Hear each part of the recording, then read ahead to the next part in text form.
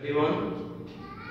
Myself Parveen Kumar and today we learn about writing section about is bio sketch?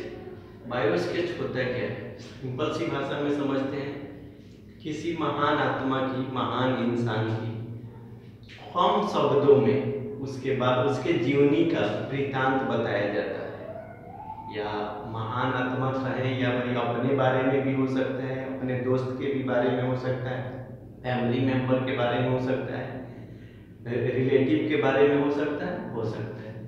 तो bio sketch होता क्या है? बहुत ही कम शब्दों में किसी के जीवनी को एक आधारभूत संरचना के माध्यम से उसको साहित्य में पिरो दिया जाता है और उसको एकदम शॉर्ट टाइप में उसके बारे में हम लोग उसको बता देते हैं। तो वही बायो स्केच हो जाते हैं यानी बायो स्केच बायोग्राफी टाइप का एकदम छोटा बायोग्राफी बड़ा होता है मगर बायो स्केच एकदम उसको शॉर्ट टर्म में उसके लाइफ का एक छोटा सा वृतांत जीवन वृतांत बता दिया जाता है definition of bio sketch a bio sketch is a very short description of a person person's education achievements and a special qualities of character किसी भी पर्सन का, बहुत ही शॉर्ट शब्दों में उसके पर्सन के जीवन, उसका एजुकेशन वो अपने जीवन में क्या प्राप्त किया है और उसका खास खास गुणों के बारे में हम लोग बताते हैं।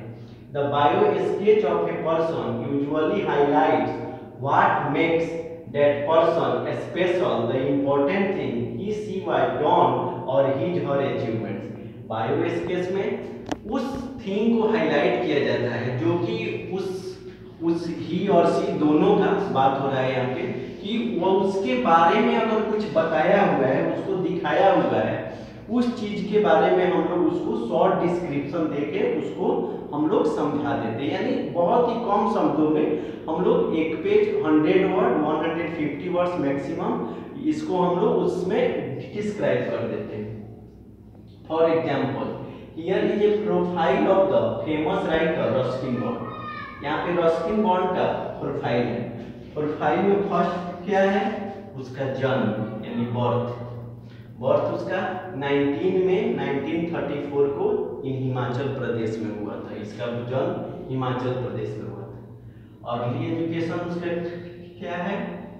तो from Bishop Cotton School Shimla Shimla से इनका पढ़ाई हुआ है from Bishop Cotton School first creative writing writer थे तो तो भाई ज़ाहिर सी बात है, इनका कुछ भी होगा तो राइटिंग से ही स्पेशलिस्ट होगा। A story published in the Illustrated Weekly of India in his school days इनके अभी बचपन में ही स्कूल डेज़ में ही इनका वीकली पब्लिश्ड होता था story first book first book का बात करते हैं इनके। The novel on the roof room on the roof at the age of 17 years मात्र 17 साल की उम्र में इनका एक नोवेल आ गया था, जिसका नाम था room on the on the roof ये काफ़ी इंटरेस्टिंग है।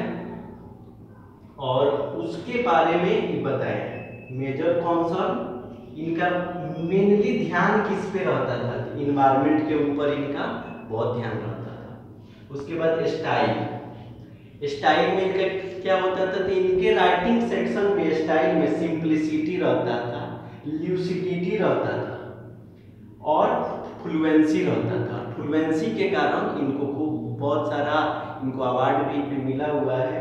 ल्यूसिडिटी रहता था, एकदम स्पष्ट लिखते थे। सिंप्लिसिटी रहता था। ऐसा लगता था जैसे नॉर्मल किसी के भाई लाइफ में जीवन में घटित होने वाली घटनाएँ को डिस्क्राइब करते थे। अवार्ड्स अवार्ड्स भी इनके लिए बहुत बड़ा अचीवमेंट्स है।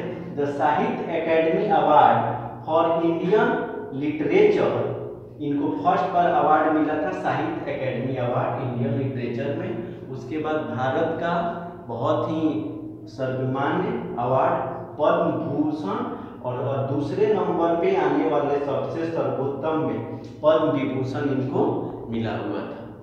अब ये तो हो गया उनके बारे में शॉर्ट में उनका प्रोफ़ाइल।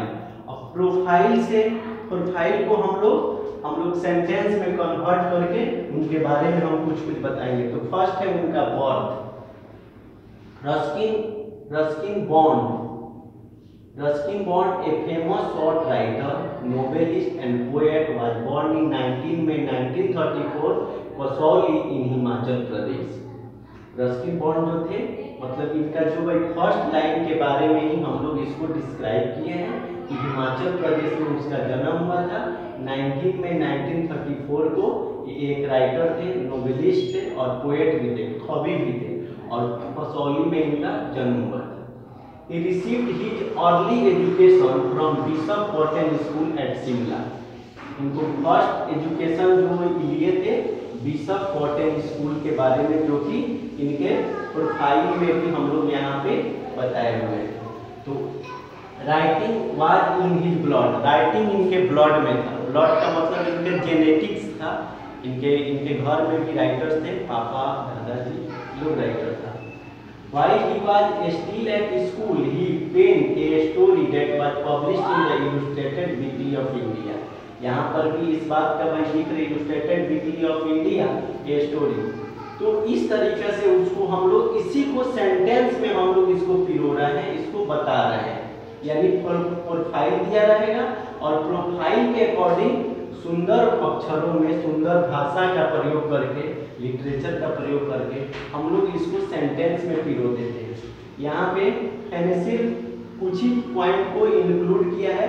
बहुत सारे पॉइंट इसमें छूटे हुए जैसे इस यहाँ तक हो गया है। मेजर कॉन्सर्न उसका जो इन्वायरमेंट के ऊपर था, इसको आप लोग इसमें ऐड कर सकते हैं। स्टाइल उनका सिंप्लिसिटी ल्यूसिडिटी फ्लुएंसी था, इसको आप लोग ऐड कर सकते हैं। अवार्ड्स उनको कौन कौन मिला था और भारत में उनका स्थान क्या था, ये, इसको ये, इसको इसमें आप लोग ऐड कर देते हैं। बाकी ये आप लोगों के लिए छोड़ दिया गया है। I hope you understand well and this is a very important for everyone. Suppose that you you wanted to for like paint the character of uh, bio bio sketch of Virat Kohli.